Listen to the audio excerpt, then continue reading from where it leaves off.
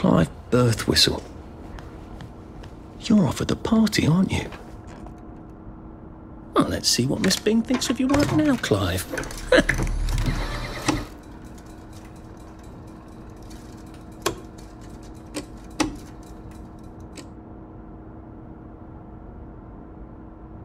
I think we can live with that.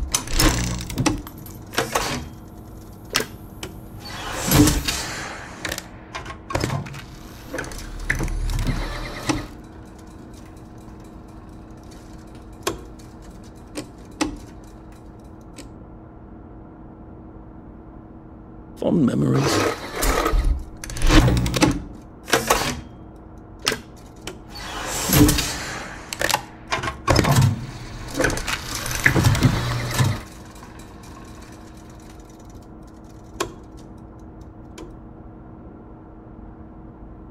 That's right?